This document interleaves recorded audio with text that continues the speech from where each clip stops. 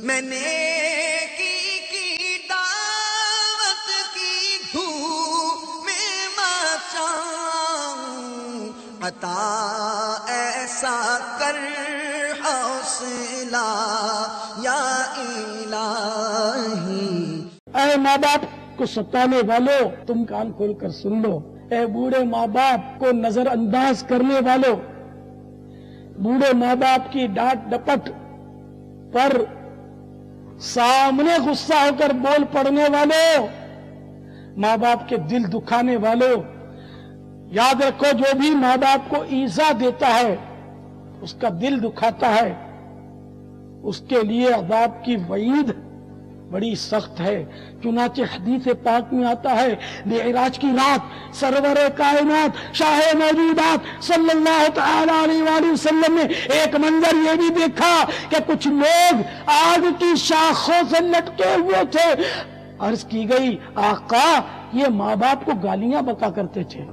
तो अगर माँ बाप का दिल दुखाया है तो फ़ौरन से पेशतर उनके पाँव पकड़कर उनसे माफ़ी मांग लो, उनको राज़ी कर लो।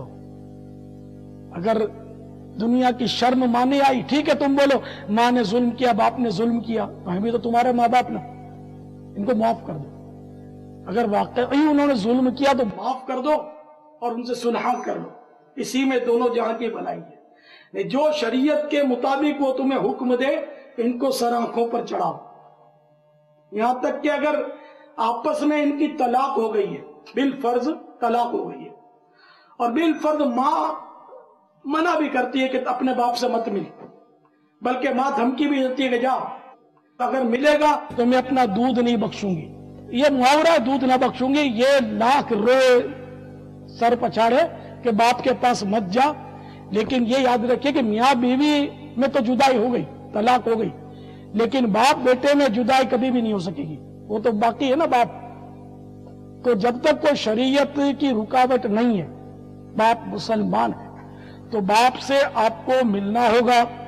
बाप से मुलाकात भी करनी होगी और हसबे ज़रूरत, जहाँ शरीयत हुक्म देगी, बाप की खिदमत भी करनी होगी। मसलन बाप अगर बाप को पैसों की ज़रूरत है, वो भी आप उसको दीजिए। बाप को इलाज की ज़रूरत है, वो भी मुहैया कीजिए। बाप को मकान की ज़रूरत है, वो भी उसमें भी आप उसके साथ ताउन कीजिए। ये आपका बाप है। आपकी अम्मी को बेशक तलाक दी है। बेशक जुल्म किया अम्मी पर। लेकिन वो आपका बाप है। आपको उसके साथ एनी हाउ हर सूरत में शरीयत के दायरे में रहते हुए उसने सुलूक करना करना और करना है, वरना आखिरत में आपकी पेशी हो जाएगी। माँ को भी मत छोड़ें आप। माँ की भी खिदमत करें और बाप की भी खिदमत करें। माँ का हक यकीनन ज़्यादा है, लेकिन बाप का हक भी बेशक है। दोनों आपके लिए अपने अपने तौर पर हकूक रखते हैं। तो माँ बाप को किसी सूरत पर ना छोड़ें। आज बेगैरत लोग बाज नई रोशनी के पले अपने बूढ़े माँ बाप को महादल्ला तुम्मा महादल्ला ओल्ड हाउस में छोड़ आते हैं। कितना बड़ा जुल्म जिस माँ ने अपना खून पिलाकर तुम्हें पाला, आज ठीक है, बूढ़ी हो गई, उसका दिमाग काम नहीं करता। वो बड़बड़ करती है। आपका वो बाप जिसने न रात देखी, न दिन।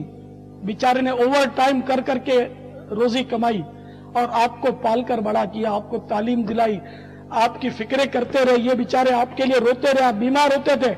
तो आपको दवा पिलाकर सोला देते थे, लेकिन ये गरीब जाग जाग कर आपकी निगरानी करते थे। आज ये बूढ़े हो गए तो थोड़ी बड़बड़, आपको बर्दाश्त नहीं है उनकी। और इनको ओल्ड हाउस में आप छोड़ा है आप इनके लिए आप दुआ मांगते हो, या अल्लाह इनकी मिट्टी ठंडी कर दे। आपको शर्म नहीं आती। आपको गैरत नहीं है। कल आपको बूढ़ा नहीं होना पड़ेगा। अब लंबी ज़िंदगी की तो दुआ करते ही होंगे। तो लंबी ज़िंदगी का नतीजा तो बुढ़ापा तो है ना तो आप भी बुढ़े हो जाएँगे।